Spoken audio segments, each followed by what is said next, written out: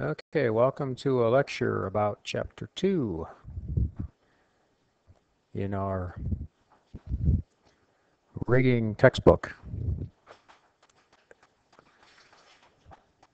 So wire rope and wire rope slings.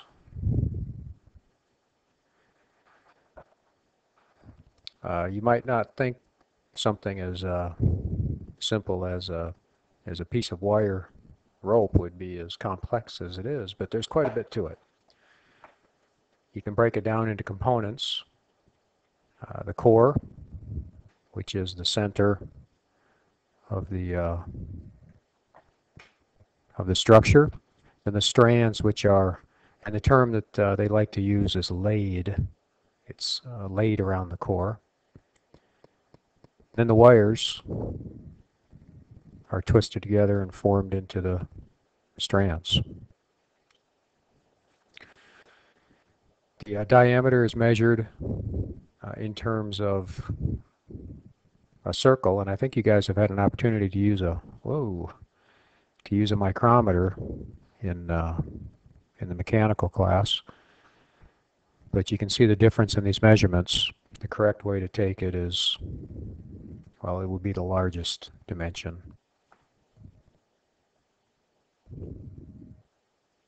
In other words, this reading over here would give you a a smaller reading, which uh, would be not correct. So the materials that are used,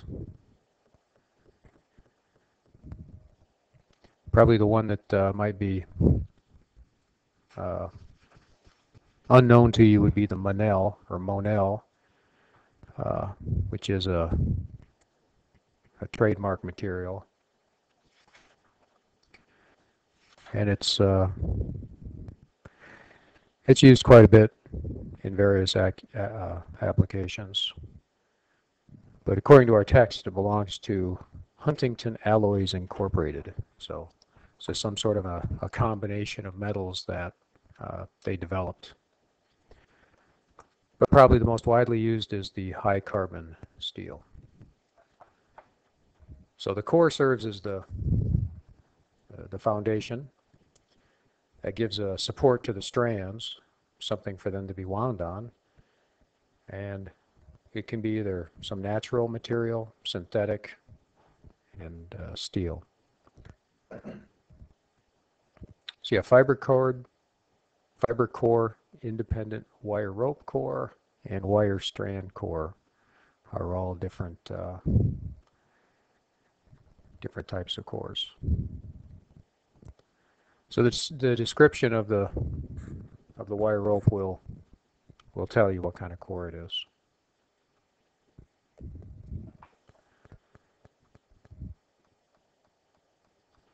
So the uh, uh, the wires are are uh, laid in a strand and then the uh, strands are laid around the core. And you have and this is on page 19 of your book and we'll look at the slide here in a minute but this shows you the uh, right lay left lay regular lay and the lang lay. And that really has to do with the direction that the the strands are wound around the core so a lay is considered the length that it takes for a strand to make one complete helical wrap around the core. So here we see a, an example of that. In order for it to, if you start measuring at this point and you get to that same point again, that would be considered one lay. You can see the difference between the right, the left, the lang,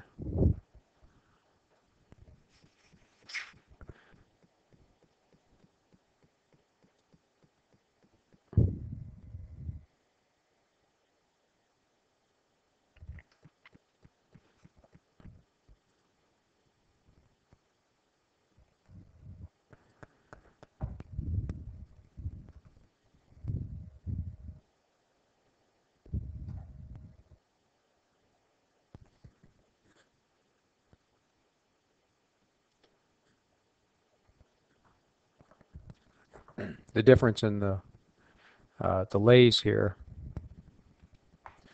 Regular lay as opposed to Lang lay. Well, the right and the left just refer to the the direction that the uh, that the strands are are running in. But the regular and the Lang has to do with the angle of the wires that make up the the individual wires here you can see are all roughly parallel to the axis of the rope itself. Whereas on the the Lang lay, the wires are at various angles.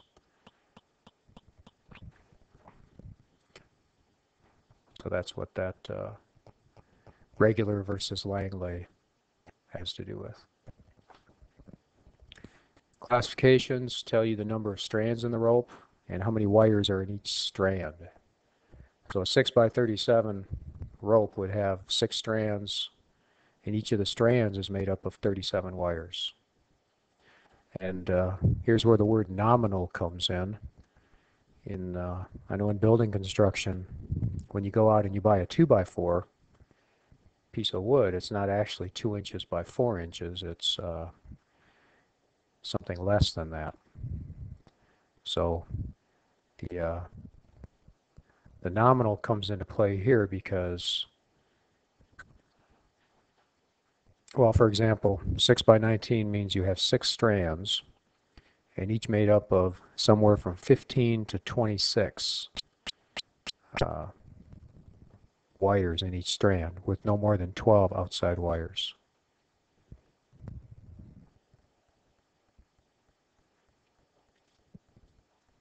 The most common, commonly used uh, wire rope is 6 by 19 and 6 by 37 for hoists and cranes. And here's some different uh, patterns.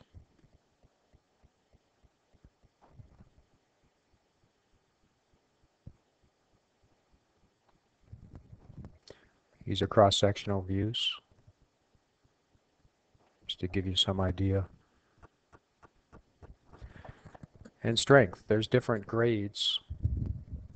You have, uh, well, plow steel, which is no longer used. So that's not even on here. So then the lowest grade now is improved plow steel, followed by extra improved plow steel. And uh, if you can guess what EEIP is, it's extra, extra improved plow steel. And you can have either uh, a fiber core or independent wire rope core for the improved plow steel. Finishes for wire rope. Uh, bright, which is not coated, is probably the most common. Galvanized, which is coated to protect it from corrosion. It uh, can be used, but the process of galvanizing it reduces its strength by 10%.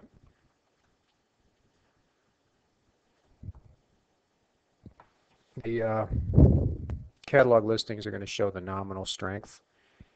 You want to divide the nominal strength by, by the design by the design factor to find out what the working uh, strength is. In other words, what is the maximum load you can put on that?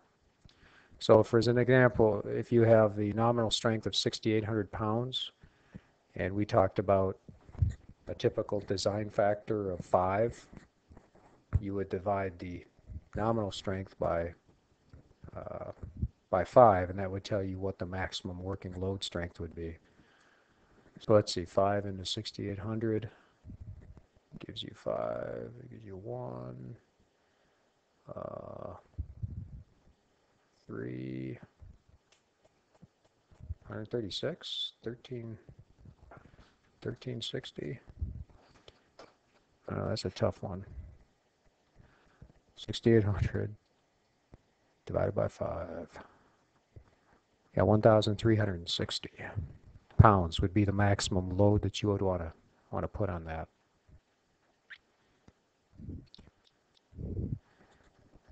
There's various things that can affect the strength. If you uh, bend the wire rope over some kind of a curved surface, you have to uh, you have to allow for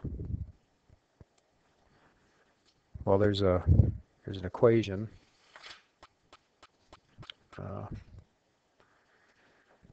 the D to D ratio and the big D is the uh, curved surface that you're you're bending it over and the small d is the the nominal diameter of the rope. And we have a we have a graph down here that shows you shows you the efficiency here as the ratio gets uh, smaller the uh, the efficiency or the, the, the, strength of the rope uh, goes down. Closer to 100% efficiency you are, the better off you are. Uh, temperature can also affect it, either hot or cold, depending on the, the material you're using. Corrosion, things in the environment. Uh, if you have gases or liquids that are uh, corrosive in nature, you can reduce the strength of the rope. And then the fittings or the terminations under some conditions can also reduce the strength of the of the rope. So here's an example. If you have a, a uh, fiber core, 6 by 37, improved plow steel, 1 inch diameter, that would be the small d, and you are putting it over a sheave of 30 inches diameter, see your D to D ratio in that case would be 30 to 1 or 30. So you'd probably be looking at, uh, I don't know, 94, 95% efficiency. So you'd want to figure that into your maximum load calculation. So breaking down those factors a little bit more, temperature, uh, fiber core should not be exposed to anything more than 180 degrees Fahrenheit. The core could be uh, greatly weakened by that. And any uh, sling that's going to be exposed to a temperature higher than 400 or a temperature lower than negative 60 degrees uh, needs to have the you need to check the manufacturer's data to make sure that it's it's going to work at those temperatures. If nothing else, it'll tell you how much it's weakened by that temperature. And corrosion that comes from either being in an environment that's uh, really dirty or has corrosive materials in it, or just not taking care, you know, properly lubricating the parts of the of the rigging system. And you may not be able to see it. Uh, Anytime you see little pits on the wire, it should be taken out of service. And we already mentioned caustic chemicals can cause problems. Fittings and terminations. They can either be spliced into the loop or fastened to uh, some kind of a fitting. If strength of the fitting is not at least that of the rope, the usable strength is reduced. And this goes back to what we talked about early on. The uh, the maximum load that you can carry in any system is going to be based on the, the weakest part of that system. So the usable strength of the rope is going to depend on what fittings are attached to it too. And here's a bunch of uh, examples of fittings for you.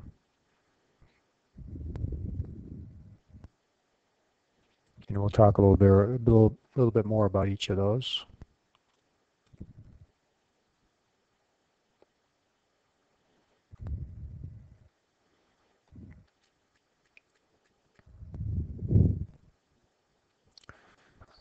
Speltered socket. This is speltered is probably not a word that you you hear very often.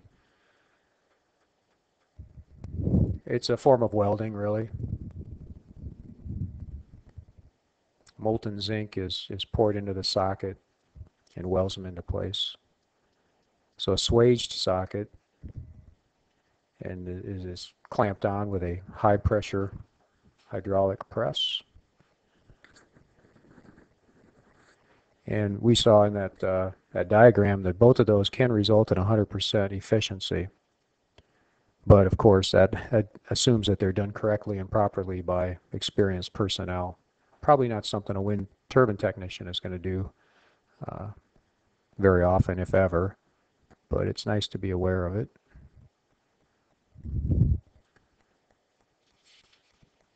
Here's a graphic, uh, shows you another common way to uh, put terminations on a wire rope. Using these clips, pretty straightforward. There's a couple different types, but they uh,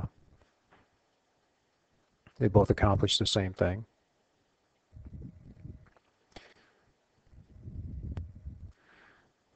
And you've of course got the right way and the wrong way to attach the clips for maximum strength.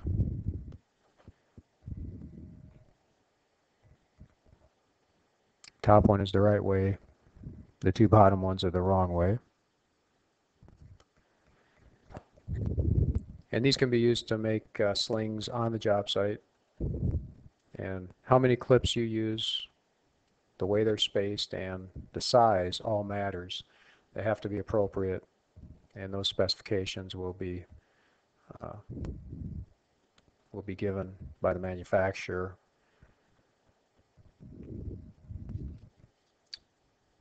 How much they're tightened also matters. If you over tighten them, you could damage the rope. If they're not tight enough, of course, they could slip. And the size of the loop, which is the eye, and the thimble. And the thimble is that uh, this part here that fits in, acts to uh, acts as a form to give you that loop, and it also protects the the wire rope from being uh, being worn against something. So it does the same thing a thimble and sewing does really. It protects your finger when you sew something. Here it's protecting the rope. A white socket is another method of uh, making a wire rope sling.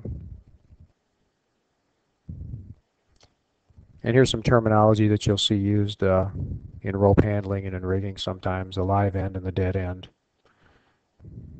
are self-explanatory. And it's giving you some, some rules here. You have to have enough dead end here to allow for a certain amount of slippage. The angles have to be correct.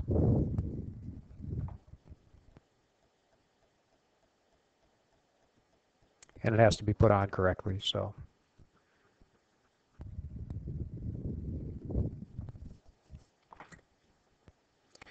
If uh, if you need to uh, cut one of these, you're going to want to make sure that the uh, ropes are uh, or the strands are wired into place before you do so. So cutting, splicing, those probably aren't things that you're going to uh, find yourself doing. This would be the sort of thing experienced riggers would uh, would get into. But it's fairly obvious these strands can come loose once they're cut, so you would want to bind them in place using a wire. Splicing, you're actually weaving strands together and uh, a great deal of training and experience is required before you do this. So this is the sort of thing you would probably go through some kind of a apprenticeship process and lots of practice before you're going to be in a position to actually splice these things together.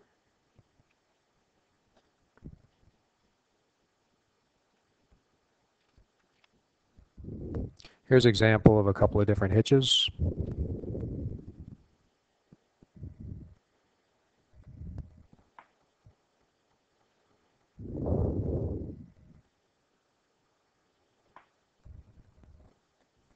Obviously you can see the, the benefit of using this sort of an arrangement as opposed to this one. Uh, you're trying to move this same load, say it's a, a length of pipe, and you used a, well, even if you used a choker hitch, you would have to be in the exact center of gravity in order to make that work. Or you'd probably have to have a couple of tag lines on it to, to keep it stable. Whereas this is going to uh, be much more stable. I'll call your attention to this. This here is a Greek letter, theta, that's used to represent the angle. We said uh, the last chapter that we wanted to keep our angles uh, greater than 45 degrees. And we'll do a little exercise to uh, to look into why that is.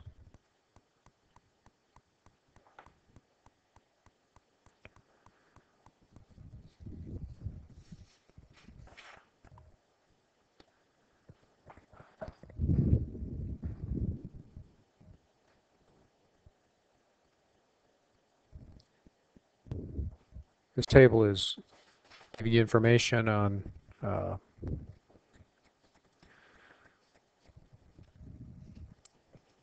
rated load capacities.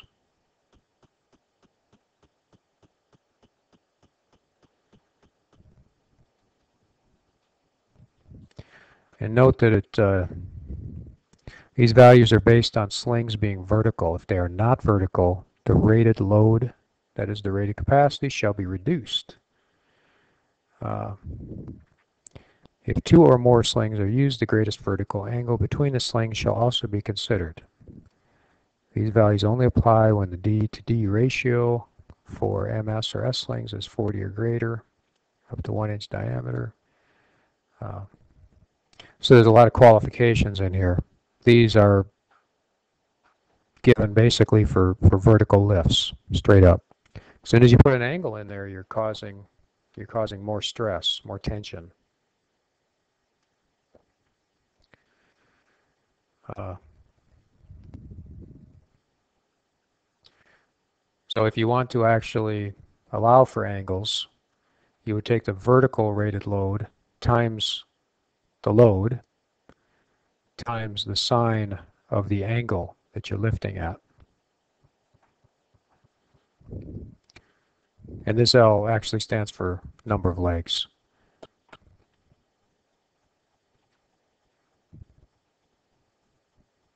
And we'll do some examples like that in class. Uh, if you start to add more than two, if you have three or more legs, it's hard to figure out how much how much load each of the legs is bearing. So it's it's always best to use an equation for two just to be safe.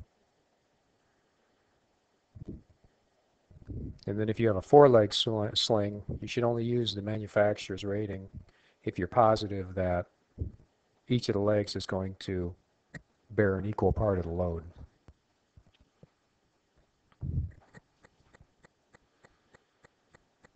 If you're using a choker hitch, that's the one that clamps down as you lift up.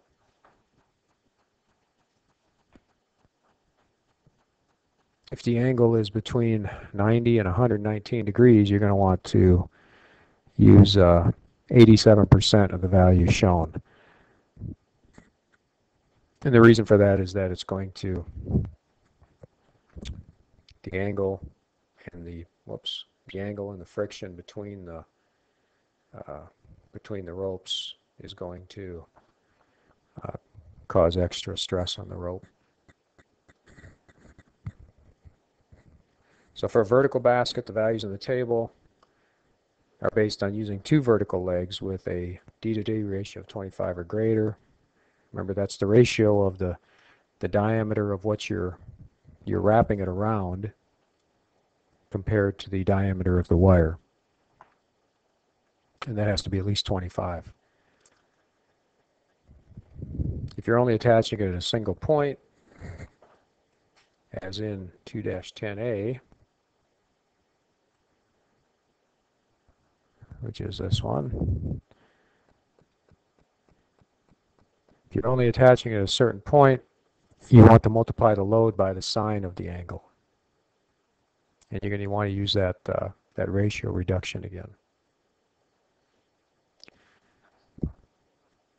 Okay, as far as inspection, uh, they should be inspected daily before and during use. So as slings are being used, they should be uh, they should be watched, inspected, and then periodically, anybody that uh, uses slings routinely is going to have a designated individual to inspect them periodically and document that inspection. If you see any kind of kinking, crushing, unstranding, uh, bird caging, that's this uh, where it starts to kind of come apart. You're going to want to replace it. Any evidence of heat damage, splatter from welding, if there's any cracking or deforming of the, the end fittings, any pitting in the wires we mentioned before, any corrosion of the wire near the end fitting, uh, one broken or cut strand, not wire, strand. And then for a single rope, you have 10 broken wires in a section, the length of one rope lay, and remember that's one helical turn around the rope, or if you have five broken in any one strand within one rope lay, that would come out of service. If you have braided wire that has less than eight parts, 20 broken wires in one rope lay or one broken uh, one broken brain, what's that? Or one broken strand per sling length. Oh, it should be braid. or one broken braid. Or one broken strand per sling length. For braided wire with eight or more parts, 40 broken wires in one rope lay, or one broken braid, or two broken strands per sling length. Uh, yeah, I, I, don't expect you to memorize that, but uh, the the key there is that there are standards. I, I have a feeling that uh, most people that do this routinely are not going to take a chance if they have some broken wires. They're probably going to replace it as a uh, better option than continuing to use something that could fail uh, and cause pretty dramatic problems.